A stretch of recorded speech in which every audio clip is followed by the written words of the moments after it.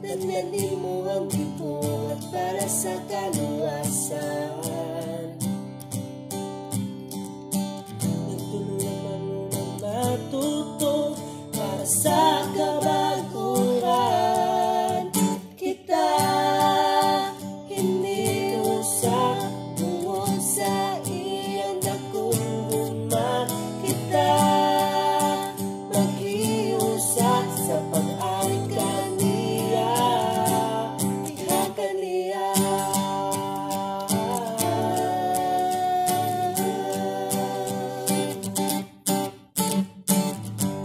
Kung Diyos ang iyong tulong Nakatagog ang laon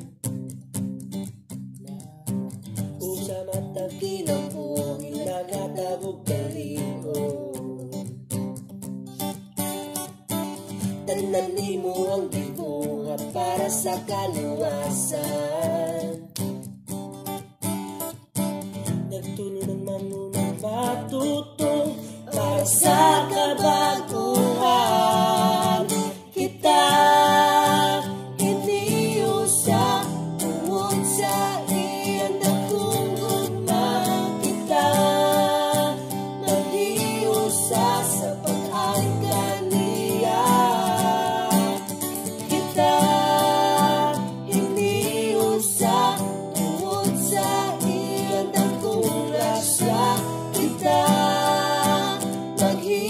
maghiusa sa pag-aling kaniya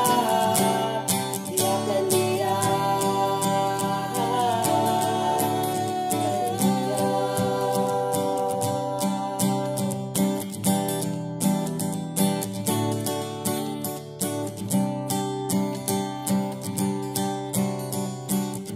Kaniya kita iniusa sa iyang Matamis ka guma Kaniya kita iniusa Tungod sa kalapad Sa iyang grasya. Kaniya kita iniusa Tungod sa iyang Matamis ka guma Kaniya kita iniusa Tungod sa kalapad Sa iyang grasya. Kita